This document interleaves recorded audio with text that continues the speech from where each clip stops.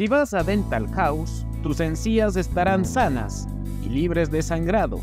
Pero si no vas a Dental House... ¡Ay, no! ¡Sangre!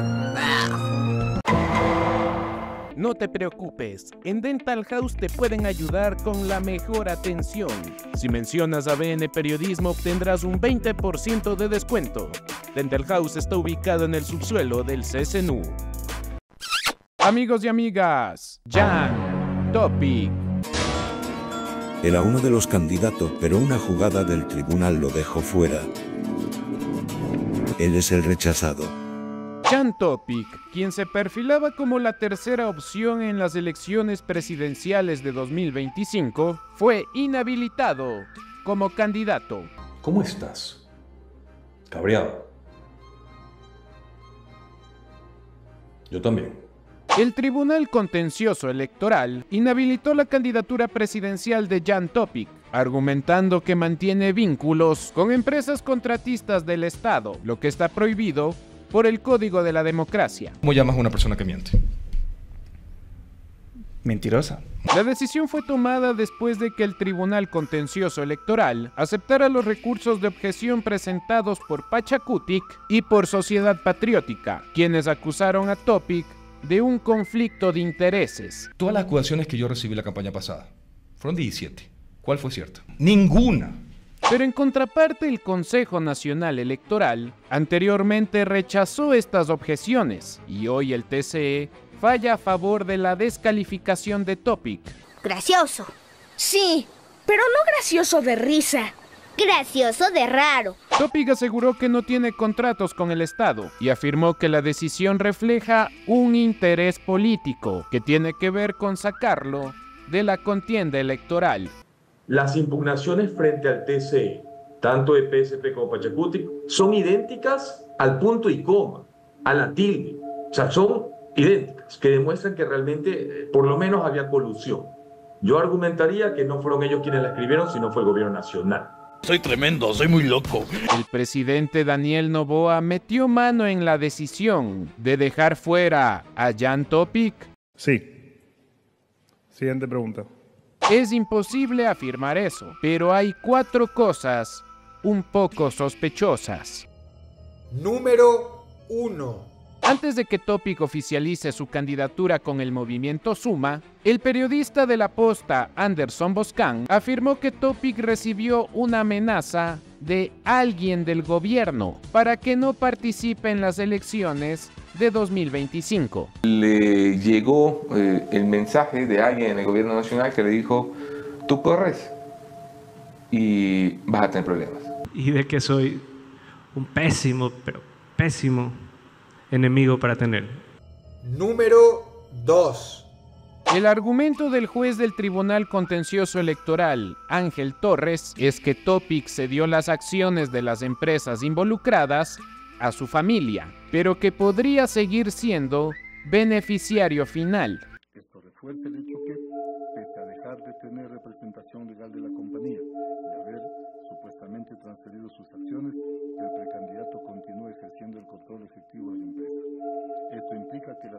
Transferencia de acciones a familiares constituye una estrategia para disimular el control efectivo sobre las empresas que tienen contratos con el Estado a fin de ocultar la verdadera identidad de los beneficiarios finales. ¿Cómo llamas a una persona que miente?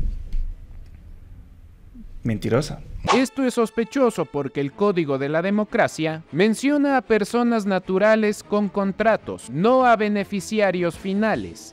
Mientes, mientes. Y si el problema es que las acciones sean de la familia, entonces se podría hacer un símil con el caso del presidente Daniel Novoa, donde su tía era accionista de empresas que mantienen contratos con el Estado, de lo cual ya tenemos varios videos. Es que resulta que ahora soy loco.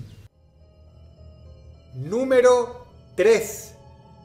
El secretario general de la Organización de Estados Americanos, Luis Almagro, afirmó que si Topic queda fuera de la contienda electoral, sería un revés para la democracia ecuatoriana. Y de forma inmediata, la Cancillería de Ecuador le respondió a Almagro, diciéndole que no se meta donde no le llaman. Pero aún así, dejarlos a todos en la vergüenza y en el silencio. Número 4. La primera dama, Lavinia Balbonesi, publicó un video en sus redes sociales donde defiende a su esposo Daniel Novoa porque es muy atacado y criticado. Yo nunca me he metido con nadie. Yo no hago nada más que hablar de mi familia, de las cosas que hace mi esposo, de las cosas que hago yo. Pero la mayoría de los políticos me tienen siempre en la punta de la lengua. ¡Qué tristeza! Todo esto no lo puedo creer. Aunque en el trasfondo del video se sintió que el mensaje fue que defiende la decisión del Tribunal Contencioso Electoral de inhabilitar la candidatura de Jan Topic. ¿Por qué te ríes? Porque es un chiste. Lavinia criticó que los que defienden ahora a Topic, aunque no dijo su nombre, no hicieron lo mismo con su suegro en 2021, el excéntrico millonario Álvaro Novoa. Quizás algunos de los que defienden hoy a Topic estaban muy ocupados en 2021 porque estaban asistiendo a fiestas como esta.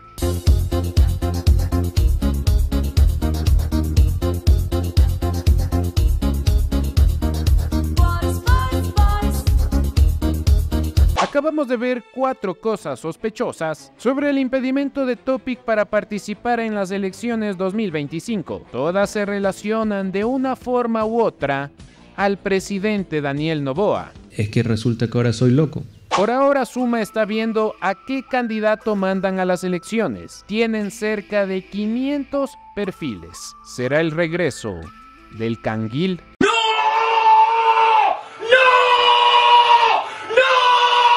Desde BN Periodismo nos resta decir que la decisión de dejar fuera a Topic es cuestionable y muy polémica. Sin duda deja un mal sabor de boca de lo que serán las elecciones de 2025. Los que se benefician directamente de esto son Daniel Novoa y la candidata del correísmo, Luisa González, quienes verán engrosar sus votos a cambio de una jugada extraña del nuevo dios de la política ecuatoriana, el Tribunal contencioso electoral.